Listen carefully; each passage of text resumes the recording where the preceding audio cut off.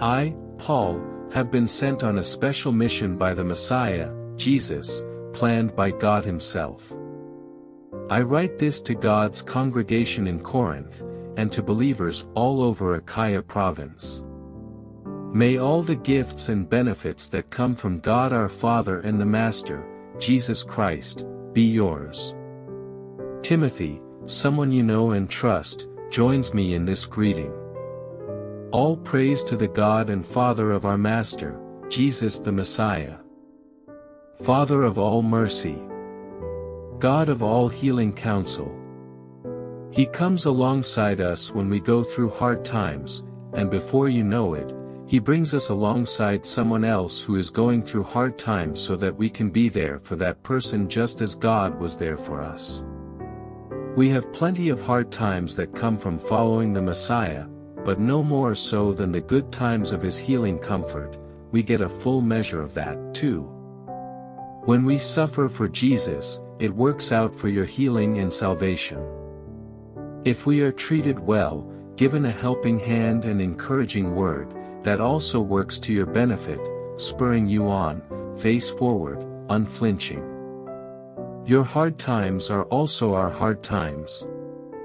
When we see that you're just as willing to endure the hard times as to enjoy the good times, we know you're going to make it, no doubt about it. We don't want you in the dark, friends, about how hard it was when all this came down on us in Asia province. It was so bad we didn't think we were going to make it. We felt like we'd been sent to death row, that it was all over for us. As it turned out, it was the best thing that could have happened. Instead of trusting in our own strength or wits to get out of it, we were forced to trust God totally, not a bad idea since He's the God who raises the dead. And He did it, rescued us from certain doom. And He'll do it again, rescuing us as many times as we need rescuing. You and your prayers are part of the rescue operation, I don't want you in the dark about that either. I can see your faces even now, lifted in praise for God's deliverance of us, a rescue in which your prayers played such a crucial part. Now that the worst is over, we're pleased we can report that we've come out of this with conscience and faith intact, and can face the world, and even more importantly, face you with our heads held high. But it wasn't by any fancy footwork on our part. It was God who kept us focused on Him, uncompromised. Don't try to read between the lines or look for hidden meanings in this letter. We're writing plain, unembellished truth, hoping that you'll now see the whole picture as well as you've seen some of the details. We want you to be as proud of us as we are of you when we stand together before our Master Jesus. Confident of your welcome, I had originally planned two great visits with you, coming by on my way to Macedonia province, and then again on my return trip. Then we could have had a bon voyage party as you sent me off to Judea. That was the plan. Are you now going to accuse me of flip-flopping with my promises because it didn't work out? Do you think I talk out of both sides of my mouth, a glib yes one moment, a glib no the next. Well, you're wrong. I try to be as true to my word as God is to his. Our word to you wasn't a careless yes cancelled by an indifferent no. How could it be?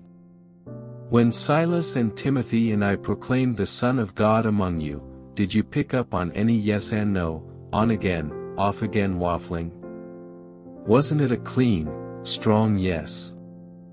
Whatever God has promised gets stamped with the yes of Jesus. In Him, this is what we preach and pray, the great Amen, God's yes and our yes together, gloriously evident. God affirms us, making us a sure thing in Christ, putting His yes within us. By His Spirit He has stamped us with His eternal pledge, a sure beginning of what He is destined to complete. Now, are you ready for the real reason I didn't visit you in Corinth? As God is my witness, the only reason I didn't come was to spare you pain. I was being considerate of you, not indifferent, not manipulative. We're not in charge of how you live out the faith, looking over your shoulders, suspiciously critical. We're partners, working alongside you, joyfully expectant.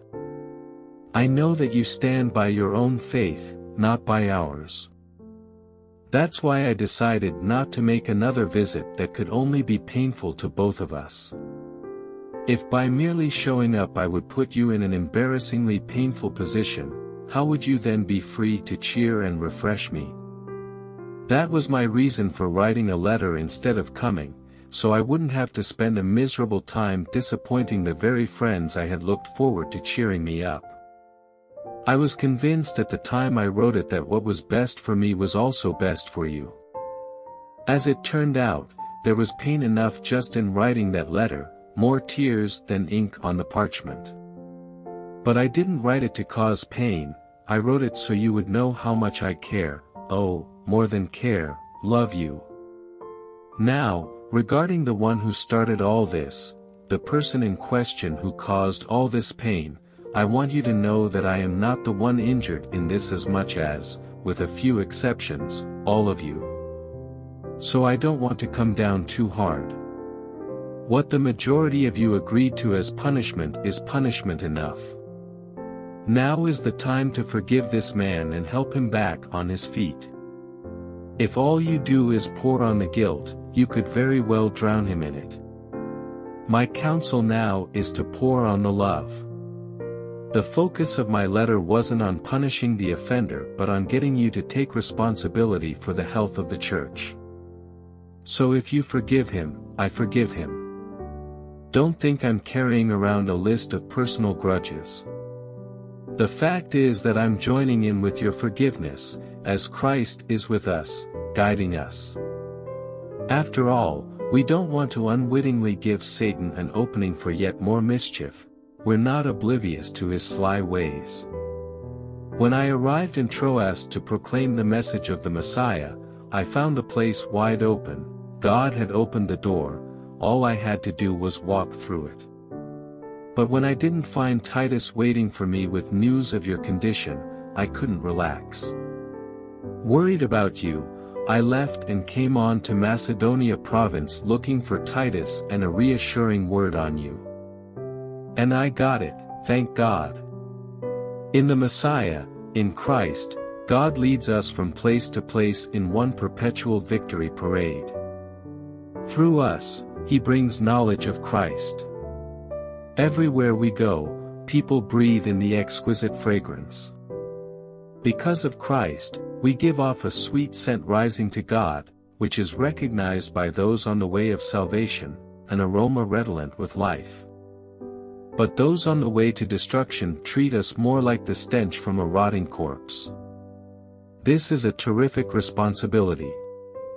Is anyone competent to take it on? No, but at least we don't take God's word, water it down, and then take it to the streets to sell it cheap. We stand in Christ's presence when we speak, God looks us in the face. We get what we say straight from God and say it as honestly as we can. Does it sound like we're patting ourselves on the back, insisting on our credentials, asserting our authority? Well, we're not. Neither do we need letters of endorsement either to you or from you. You yourselves are all the endorsement we need. Your very lives are a letter that anyone can read by just looking at you. Christ himself wrote it, not with ink, but with God's living spirit, not chiseled into stone, but carved into human lives, and we publish it. We couldn't be more sure of ourselves in this, that you, written by Christ himself for God, are our letter of recommendation. We wouldn't think of writing this kind of letter about ourselves. Only God can write such a letter. His letter authorizes us to help carry out this new plan of action. The plan wasn't written out with ink on paper, with pages and pages of legal footnotes, killing your spirit. It's written with spirit on spirit, his life on our lives. The government of death, its constitution chiseled on stone tablets, had a dazzling inaugural. Moses' face as he delivered the tablets was so bright that day, even though it would fade soon enough, that the people of Israel could no more look right at him than stare into the sun. How much more dazzling, then, the government of living spirit. If the government of condemnation was impressive, how about this government of affirmation? Bright as that old government was, it would look downright dull alongside this new one. If that makeshift arrangement impressed us, how much more this brightly shining government installed for eternity. With that kind of hope to excite us, nothing holds us back. Unlike Moses, we have nothing to hide. Everything is out in the open with us. He wore a veil so the children of Israel wouldn't notice that the glory was fading away, and they didn't notice. They didn't notice it then and they don't notice it now, don't notice that there's nothing left behind that veil. Even today when the proclamations of that old, bankrupt government are read out, they can't see through it. Only Christ can get rid of the veil so they can see for themselves that there's nothing there. Whenever, though, they turn to face God as Moses did, God removes the veil and there they are, face to face. They suddenly recognize that God is a living, personal presence, not a piece of chiseled stone. And when God is personally present, a living spirit, that old, constricting legislation is recognized as obsolete. We're free of it. All of us. Nothing between us and God, our faces shining with the brightness of His face.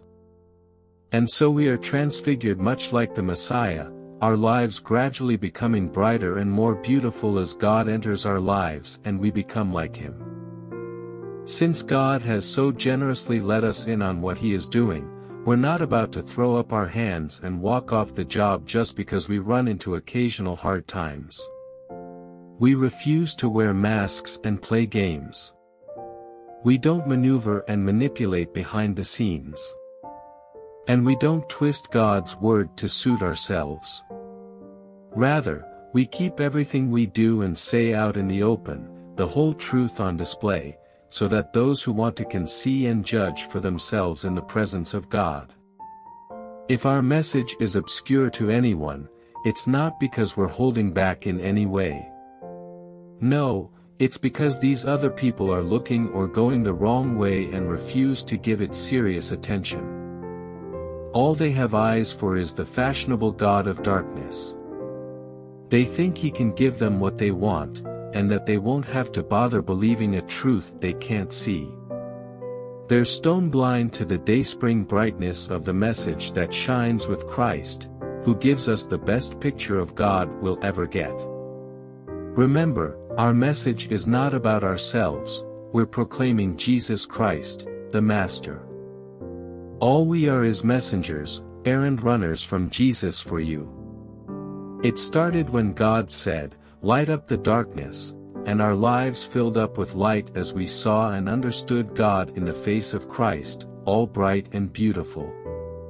If you only look at us, you might well miss the brightness. We carry this precious message around in the unadorned clay pots of our ordinary lives. That's to prevent anyone from confusing God's incomparable power with us. As it is, there's not much chance of that. You know for yourselves that we're not much to look at. We've been surrounded and battered by troubles, but we're not demoralized, we're not sure what to do, but we know that God knows what to do, we've been spiritually terrorized, but God hasn't left our side, we've been thrown down, but we haven't broken.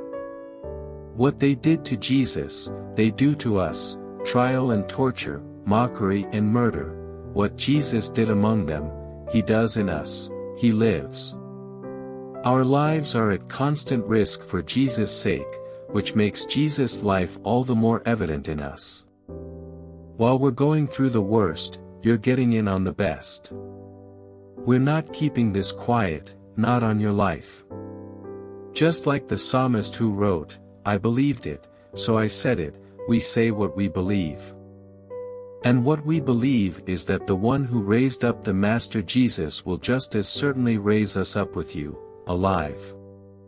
Every detail works to your advantage and to God's glory, more and more grace, more and more people, more and more praise. So we're not giving up. How could we? Even though on the outside it often looks like things are falling apart on us, on the inside, where God is making new life, not a day goes by without His unfolding grace. These hard times are small potatoes compared to the coming good times, the lavish celebration prepared for us. There's far more here than meets the eye. The things we see now are here today, gone tomorrow. But the things we can't see now will last forever. For instance, we know that when these bodies of ours are taken down like tents and folded away, they will be replaced by resurrection bodies in heaven, God-made, not handmade, and will never have to relocate our tents again. Sometimes we can hardly wait to move, and so we cry out in frustration. Compared to what's coming, living conditions around here seem like a stopover in an unfurnished shack, and we're tired of it. We've been given a glimpse of the real thing, our true home, our resurrection bodies. The Spirit of God whets our appetite by giving us a taste of what's ahead. He puts a little of heaven in our hearts so that we'll never settle for less.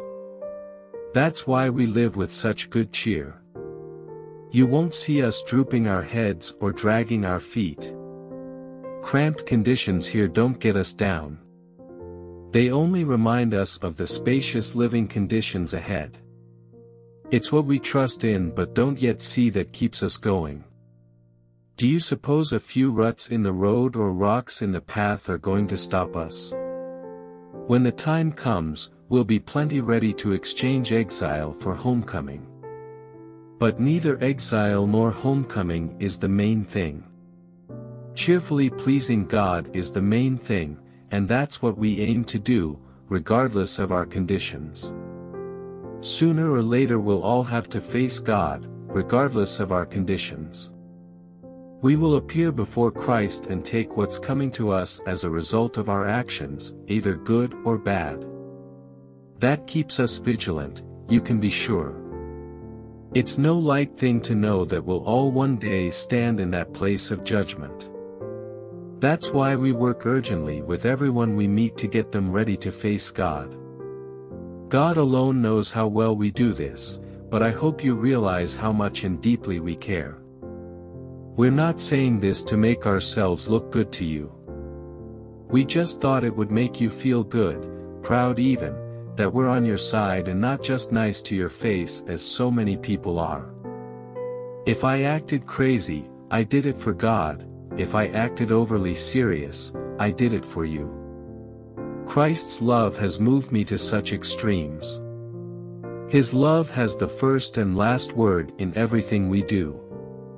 Our firm decision is to work from this focus center, one man died for everyone. That puts everyone in the same boat. He included everyone in his death so that everyone could also be included in his life, a resurrection life, a far better life than people ever lived on their own. Because of this decision we don't evaluate people by what they have or how they look. We looked at the Messiah that way once and got it all wrong, as you know. We certainly don't look at him that way anymore. Now we look inside, and what we see is that anyone united with the Messiah gets a fresh start, is created new. The old life is gone, a new life emerges. Look at it. All this comes from the God who settled the relationship between us and Him, and then called us to settle our relationships with each other. God put the world square with Himself through the Messiah, giving the world a fresh start by offering forgiveness of sins. God has given us the task of telling everyone what He is doing. We're Christ's representatives.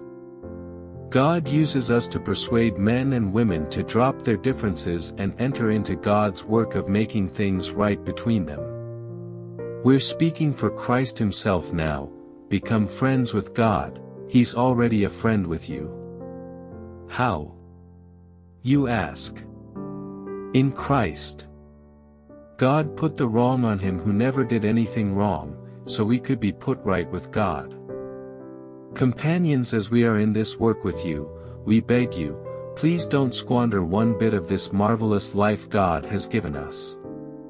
God reminds us, I heard your call in the nick of time, the day you needed me, I was there to help, well, now is the right time to listen, the day to be helped. Don't put it off, don't frustrate God's work by showing up late, throwing a question mark over everything we're doing. Our work as God's servants gets validated, or not, in the details. People are watching us as we stay at our post, alertly, unswervingly, in hard times, tough times, bad times, when we're beaten up, jailed, and mobbed, working hard, working late, working without eating, with pure heart, clear head, steady hand, in gentleness, holiness, and honest love, when we're telling the truth, and when God's showing His power, when we're doing our best setting things right, when we're praised, and when we're blamed, slandered, and honored, true to our word, though distrusted, ignored by the world, but recognized by God, terrifically alive, though rumored to be dead, beaten within an inch of our lives, but refusing to die, immersed in tears, yet always filled with deep joy, living on handouts, yet enriching many, having nothing, having it all. Dear, dear Corinthians, I can't tell you how much I long for you to enter this wide open, spacious life. We didn't fence you in. The smallness you feel comes from within you. Your lives aren't small, but you're living them in a small way. I'm speaking as plainly as I can and with great affection. Open up your lives. Live openly and expansively. Don't become partners with those who reject God. How can you make a partnership out of right and wrong? That's not partnership, that's war. Is light best friends with dark? Does Christ go strolling with the devil? Do trust and mistrust hold hands? Who would think of setting up pagan idols in God's holy temple? But that is exactly what we are, each of us a temple in whom God lives. God himself put it this way, I'll live in them, move into them, I'll be their God and they'll be my people. So leave the corruption and compromise, leave it for good, says God, don't link up with those who will pollute you. I want you all for myself. That I'll be a father to you, You'll be sons and daughters to me. The word of the Master, God. With promises like this to pull us on, dear friends, let's make a clean break with everything that defile or distracts us, both within and without. Let's make our entire lives fit and holy temples for the worship of God. Trust us. We've never hurt a soul, never exploited or taken advantage of anyone. Don't think I'm finding fault with you. I told you earlier that I'm with you all the way, no matter what. I have, in fact, the greatest confidence in you. If only you knew how proud I am of you. I am overwhelmed with joy despite all our troubles. When we arrived in Macedonia province, we couldn't settle down. The fights in the church and the fears in our hearts kept us on pins and needles. We couldn't relax because we didn't know how it would turn out. Then the God who lifts up the downcast lifted our heads and our hearts with the arrival of Titus.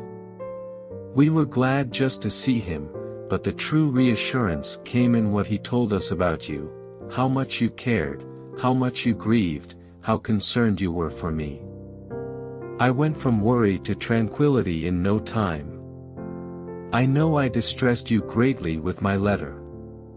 Although I felt awful at the time, I don't feel at all bad now that I see how it turned out.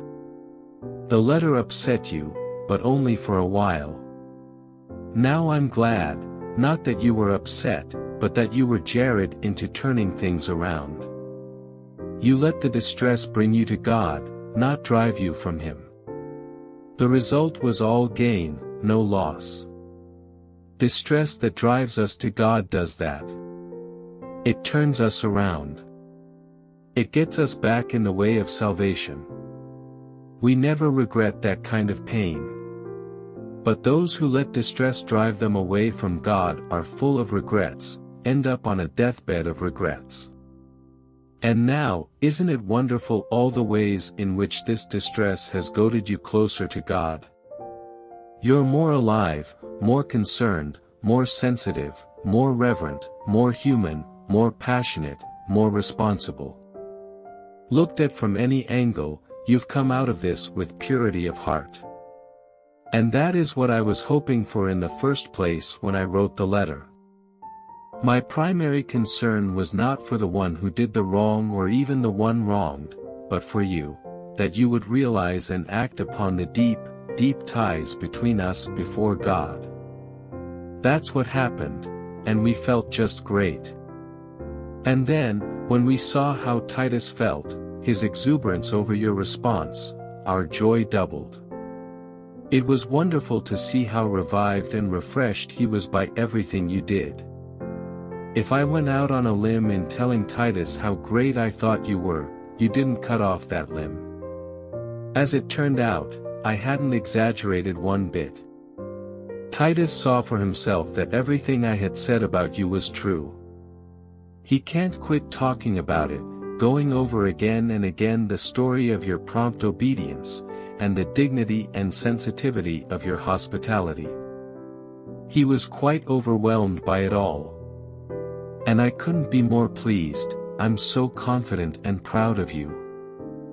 Now, friends, I want to report on the surprising and generous ways in which God is working in the churches in Macedonia province.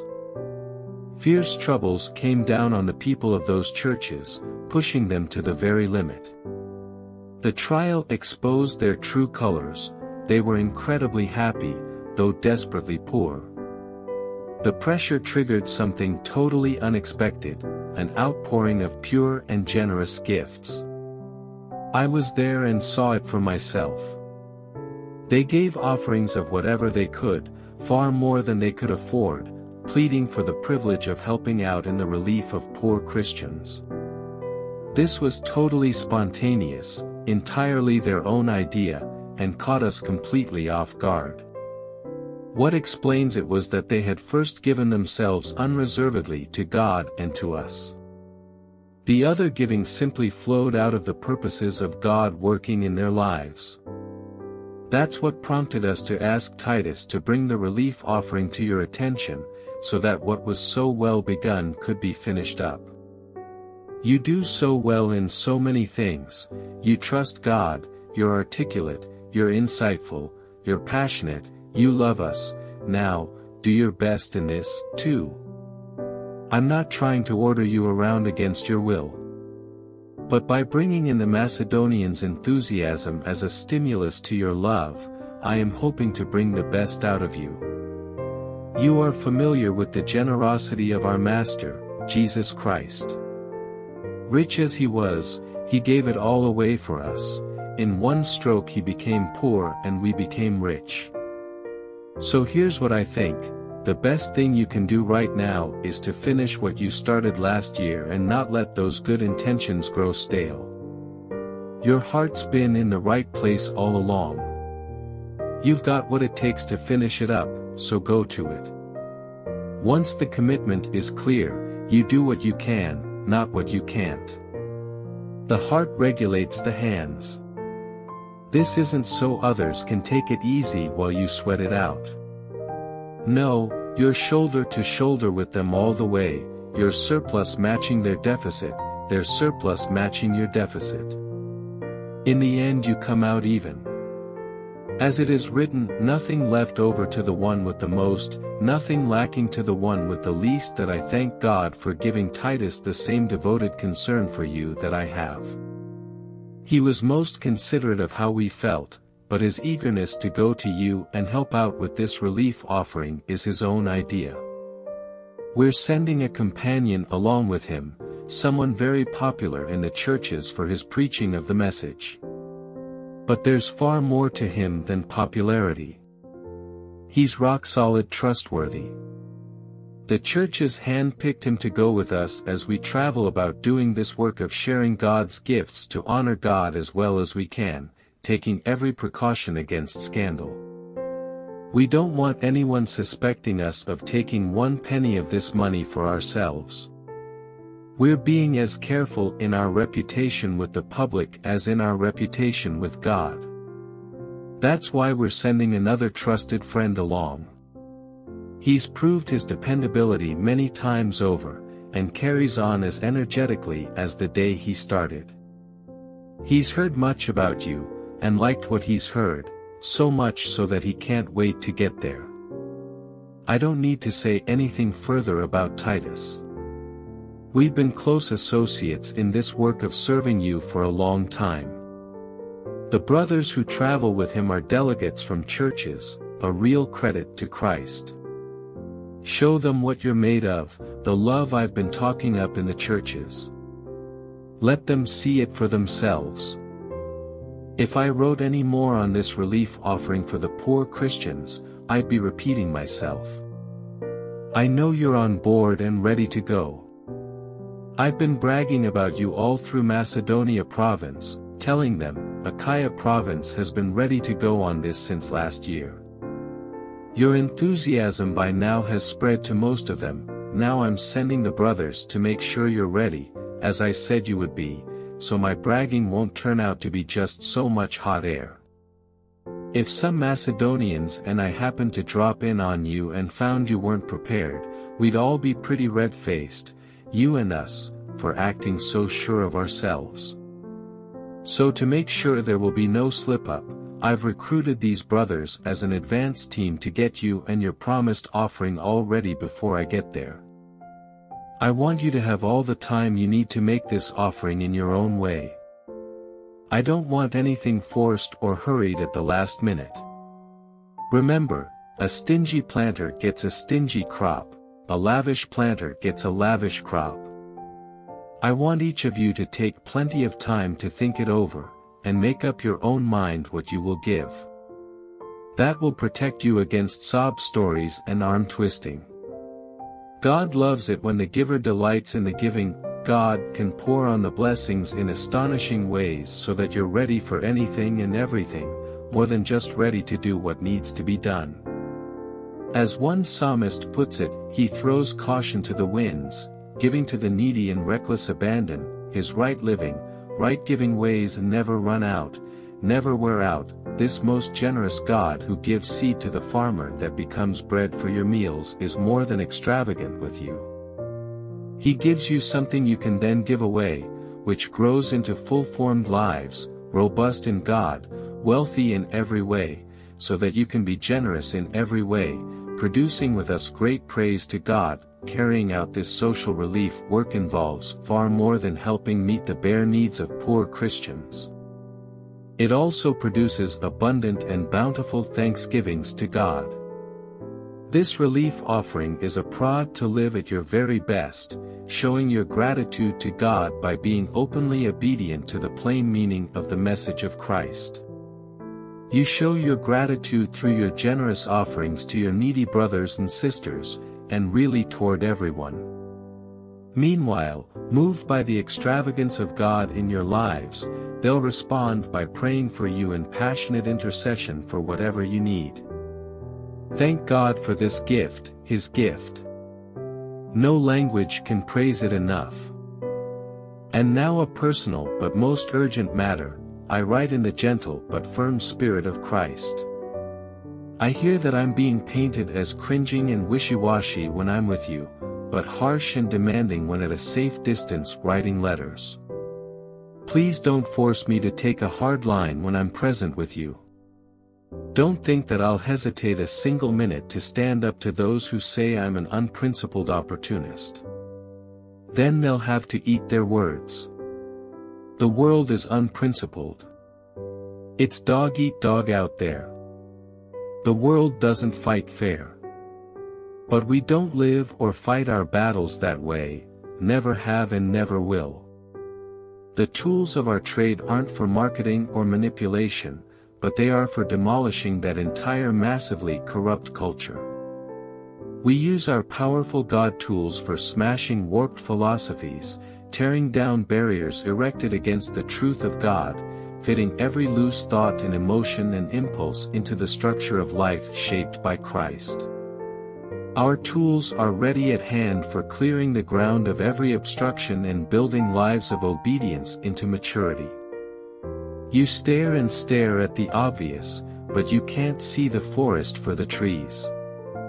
If you're looking for a clear example of someone on Christ's side, why do you so quickly cut me out?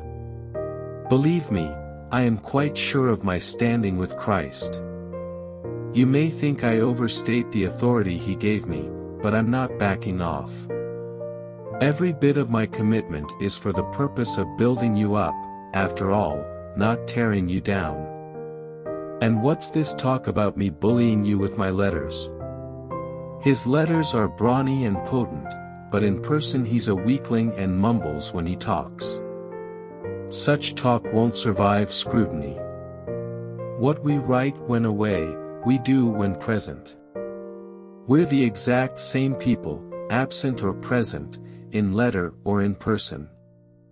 We're not, understand, putting ourselves in a league with those who boast that they're superiors. We wouldn't dare do that. But in all this comparing and grading and competing, they quite miss the point. We aren't making outrageous claims here. We're sticking to the limits of what God has set for us. But there can be no question that those limits reach to and include you. We're not moving into someone else's territory. We were already there with you, weren't we? We were the first ones to get there with the message of Christ, right? So how can there be any question of overstepping our bounds by writing or visiting you? We're not barging in on the rightful work of others, interfering with their ministries, demanding a place in the sun with them. What we're hoping for is that as your lives grow in faith, you'll play a part within our expanding work. And we'll all still be within the limits God sets as we proclaim the message in countries beyond Corinth. But we have no intention of moving in on what others have done and taking credit for it. If you want to claim credit, claim it for God. What you say about yourself means nothing in God's work. It's what God says about you that makes the difference. Will you put up with a little foolish aside from me? Please, just for a moment. The thing that has me so upset is that I care about you so much, this is the passion of God burning inside me. I promised your hand in marriage to Christ, presented you as a pure virgin to her husband. And now I'm afraid that exactly as the snake seduced Eve with his smooth tongue, you are being lured away from the simple purity of your love for Christ.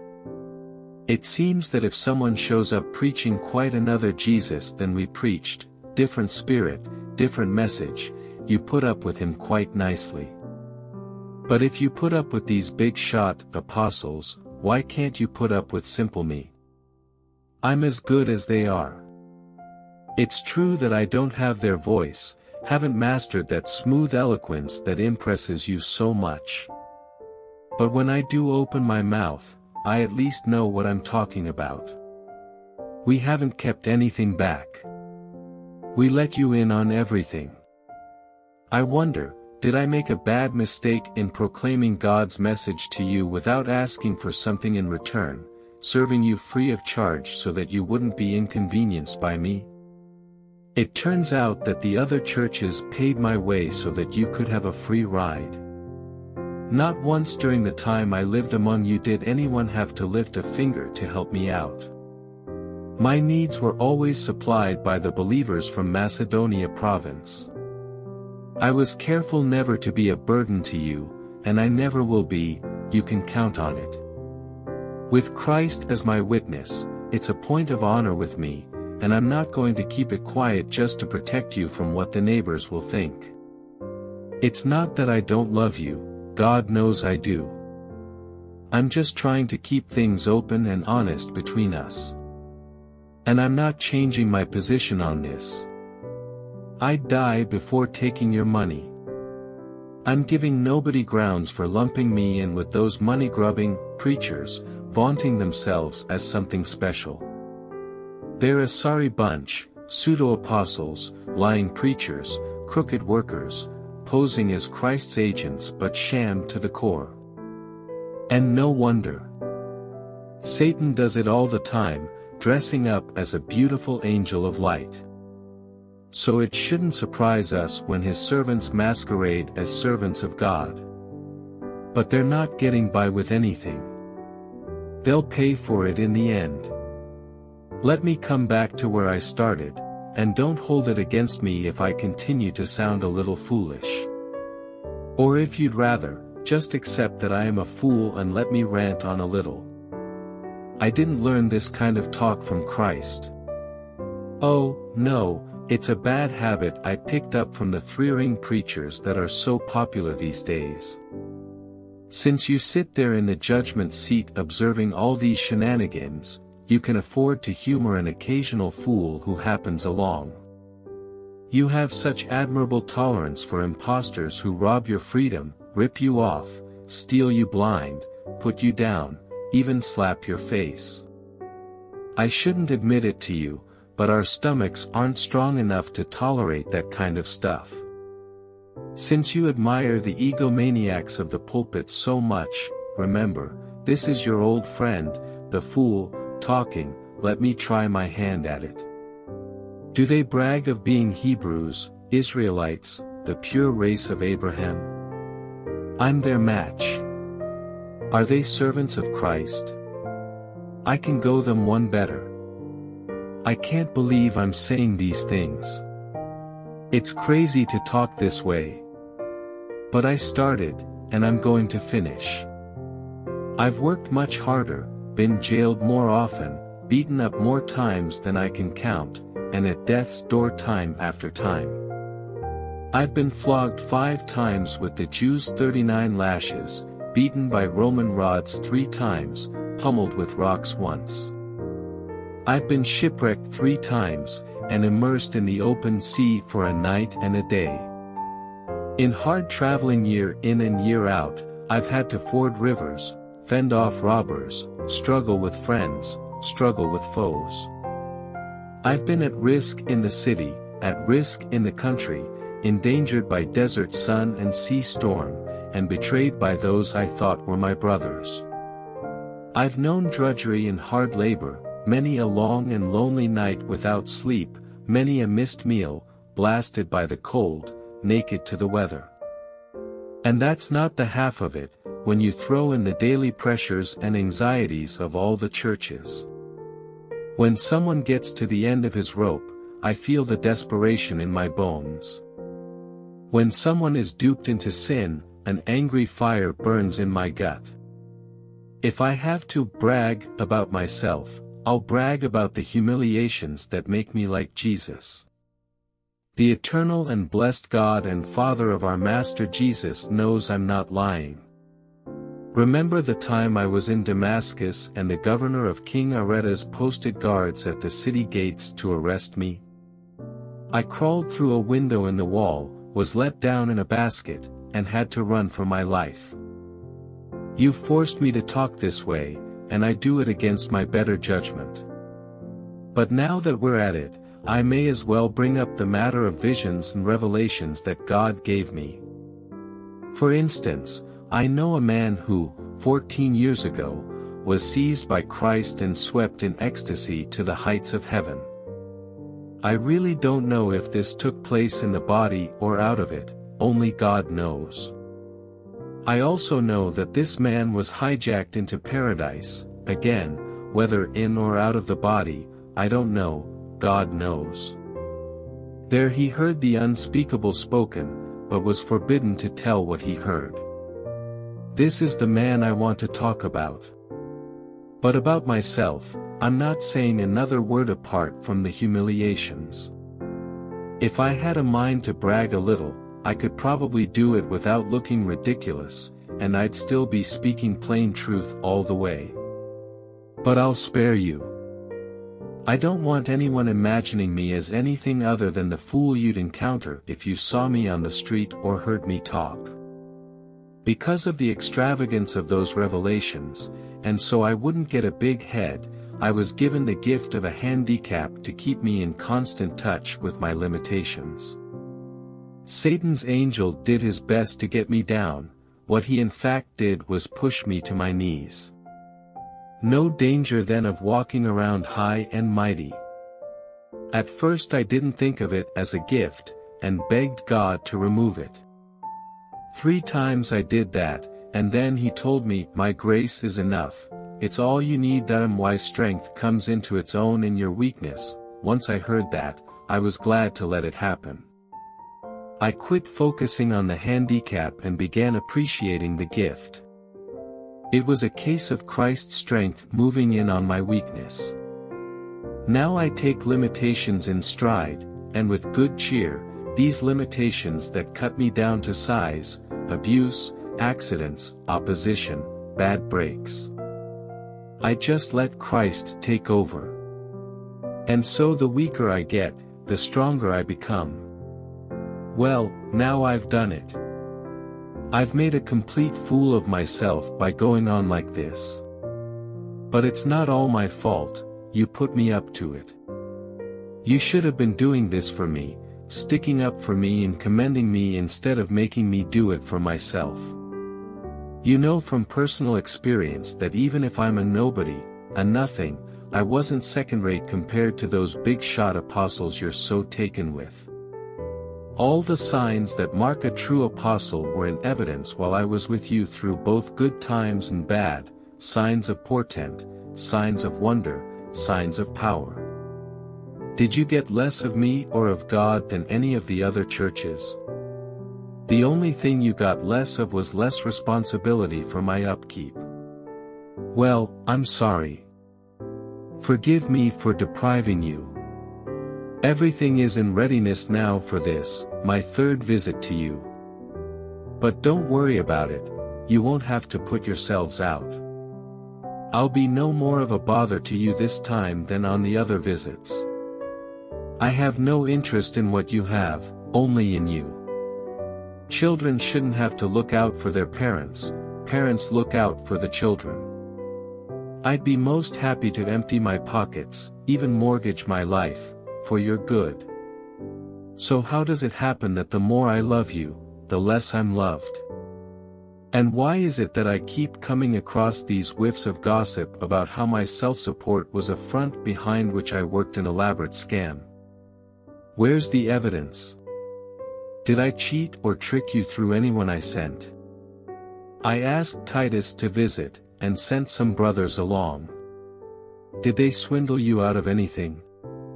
And haven't we always been just as aboveboard, just as honest?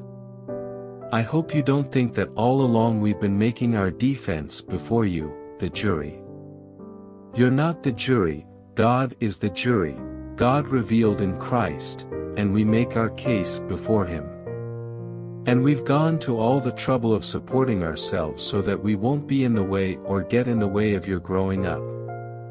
I do admit that I have fears that when I come you'll disappoint me and I'll disappoint you, and in frustration with each other everything will fall to pieces, quarrels, jealousy, flaring tempers, taking sides, angry words, vicious rumors, swelled heads, and general bedlam.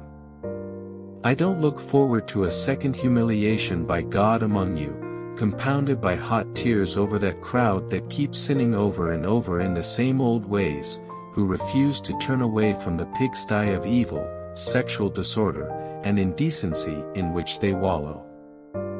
Well, this is my third visit coming up.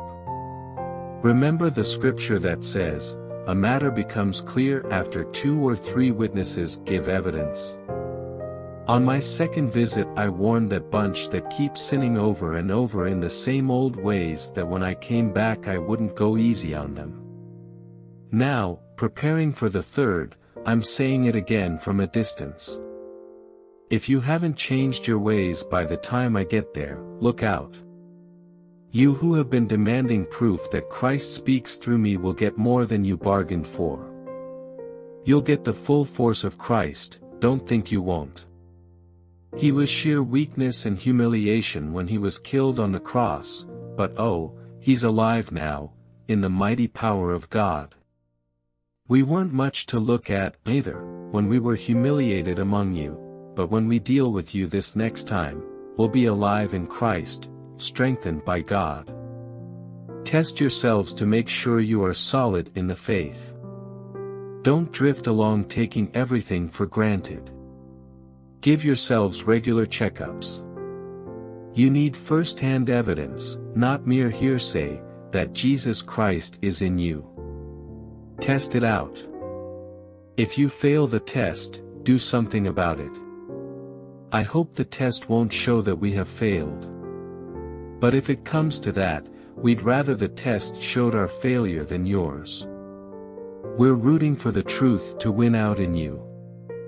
We couldn't possibly do otherwise that we don't just put up with our limitations, we celebrate them, and then go on to celebrate every strength, every triumph of the truth in you. We pray hard that it will all come together in your lives.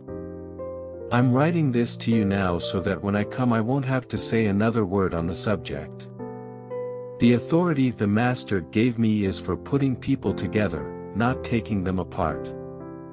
I want to get on with it, and not have to spend time on reprimands. And that's about it, friends. Be cheerful. Keep things in good repair. Keep your spirits up. Think in harmony. Be agreeable. Do all that, and the God of love and peace will be with you for sure. Greet one another with a holy embrace. All the brothers and sisters here say hello, the amazing grace of the Master, Jesus Christ, the extravagant love of God, the intimate friendship of the Holy Spirit, be with all of you.